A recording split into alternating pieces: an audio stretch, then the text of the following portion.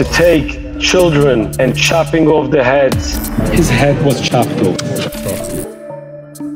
Cutting babies' heads off.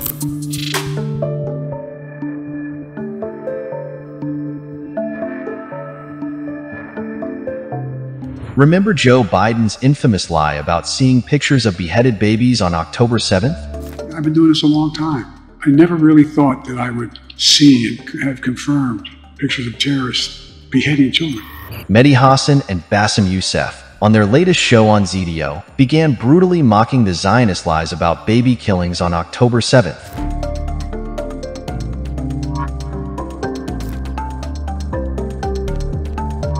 Horrible things have happened, and yet for some reason, I can't imagine why, Israeli military, Israeli officials, some journalists, and the American government decide to make shit up. In my mind, it will always live the testimony of Antony Blinken, the highest ranking US official in front of Congress, when he described this scene about a group of Hamas terrorists went in, raped the woman, cut off her breast, gouged the eyes of the father, amputated the limb of the daughter, and cut off the finger of the little child, and then they sat down having breakfast. Who have the luxury to do that in a war zone? And also, where's the IDF during all of that? So we are supposed to believe was- that actually happened. No, that story was debunked. that, that is the story that actually primed the world to accept and turn a blind eye for the, uh, the horrible killing of it. But I have a few questions. First of all, that guy, Antony Blinken, never apologized for that. Nope. This was actually refuted many, many, many, many, many times, even by the Israeli media themselves. Yep. And he never went, took it back. And also, as a doctor, you know how hard it is to cut into breast tissue, into human tissue using a box cutter? Like, is, is wanna that, like, like, like, you guys, like, are we fing stupid? Are you talking to little kids? Even bedtime stories are more believable than this. So, on the subject of believable unbelievable stories, the big one was babies beheaded. Yeah. 40 of them. Yes, and Joe Biden saw pictures. He said, "Show pi-" And when the White House was asked, "What about the pictures?" Yeah, they walked it back So,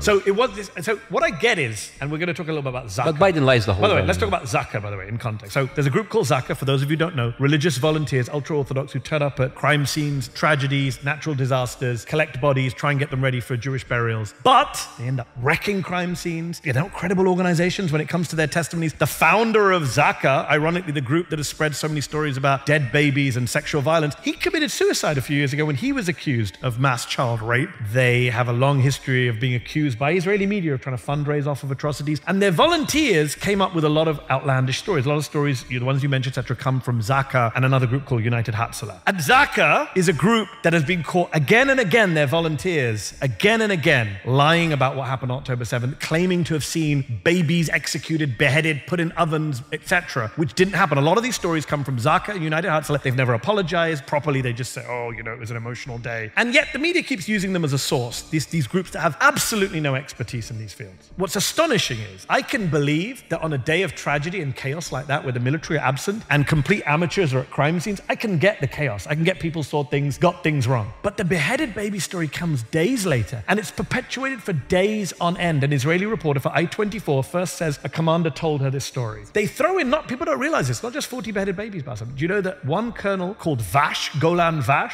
he said that he saw, personally witnessed eight burned babies inside a kibbutz and that he personally evacuated. He carried the baby out that was beheaded. No such baby exists. That video, Bassem, is still up. The video of him saying this is still up on the Israeli government's official Twitter feed. As of the day of recording today, it is still up on that feed. So this is not accident. This is not fog of war. No. This is not just a, you Uh, know, a bit my- of chaos and confusion. my- they my- deliberately took the my- most emotive subject my my to my- justify their genocide. My favorite is that the whole idea about like baby in ovens, with which was repeated Oh by God. Mike Johnson, who's the Speaker of the House, Repeated very recently, only again, two weeks ago, months ago, on But, CNN. uh, a couple of months ago. But here's the thing. Here's the thing. The way that it's like, oh, I- it was just like one of the rescuers where was so shocked and traumatized, so he was misrepresented. His with the only way that you saw something and you think it's a baby baked in oven that you are on acid. There is no other explanation. It's not traumatization. there is another It's explanation. not traumatization. You're a liar. No, it's no. I mean, you're a liar. You're It's either a not- liar on very, very bad drugs. This is the kind of like acid will make you see. I don't know. I haven't tried it, but this is crazy. The fact that you openly say baked babies in ovens, and it's like, oh, sorry, he just I got. he, he it got, got he was mistaken. It got worse. They said the babies were hung on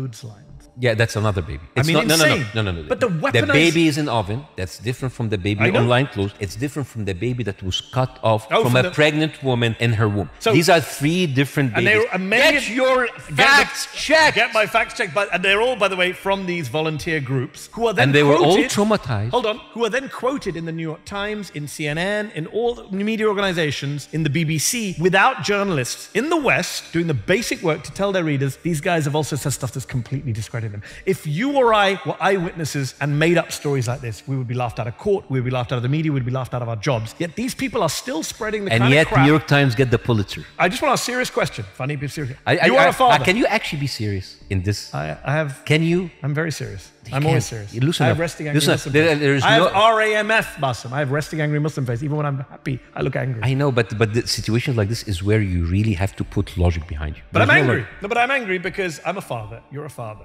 They knew what they were doing by using babies as the way to Decapitated. justify. By the way, I should point out recently in Rafah, we actually saw with our own eyes a decapitated baby. But they don't care. from an Israeli bomb. But they're Palestinians. But they're That- that- Palestinians. That, cancels out. They don't count. Cancel but the, the tragic irony of lying about something so horrific to then go do violence in Gaza, which actually caused real decapitated babies. But they knew what they were doing when they said babies. That emotion that went round the world. Because this is what happens. If you see a baby, what do you see? They can only do three things smile, cry, and poop. That's it. There's no threat. But if you go in as a person seeing a baby and you take your knife, you decap, you go through the skin, the tissue, the trachea, the spine, and then you do that 40 times, those are animals. And if they're animals, they deserve what they're getting. So now we can Yoav carpet Gallant- bomb everybody. Remember, Yoav Gallant used the phrase animals on October 8th. Just one last point I want to say on the baby front as a journalist. One, the people who said that stuff have never been held to account, the journalists who propagated it. There's no, No. corrections. No. You know, Douglas Murray and John Podhoretz and all these pro Israel pundits wrote columns in the media. There's no corrections appended. Hmm. No one's gone back and put a correction at the bottom on a lot of these pieces. And number two, I've been trying to say this to American interviewers in particular for a while. When the Israeli military lie and lie and lie again to you again and again and again, at some point, don't you say, fool me once, shame on me, right? Fool me, whatever the bloody phrase is. At some point, don't you say, we've got to stop being the- propagandized. We've got to stop buying No, this we, bullshit. We say that, but like, it's people on the other side who want these comfortable lies in order to give them justification. No, I understand. To see what happens. It is. It But, is- but it we is took years to stop believing police departments Yeah. when they said, "Oh yeah, the Yeah. black man pulled a gun No, on us at the at the traffic stop." Now we say, "Let's not believe the first police statement." But when Israeli generals are saying, or Israeli colonels are saying, "I carried a beheaded baby in my arms," you should never trust that man again. He should be laughed out of all the court of public opinion and the media. Instead, we continue to platform them and give them weird respect and deference that we wouldn't give the North Korean know military how these or the Russian Russian dude. You already know how these people think. You are in a debate and you were booed when you mentioned Oxfam. So this is like people. But those are the, that's what I'm saying. Those are the extremists. I'm talking about journalists who claim to be upholding democratic skepticism, oh no journalistic no no! no fact checks. That, that doesn't work anymore. That doesn't Yeah, work sadly, anymore. That doesn't work anymore. So, so let's talk about like a uh, there, subject. there, there are there, there are lies let's, and so let's talk about a big journalistic failure. They're not even good comedians. Let's talk.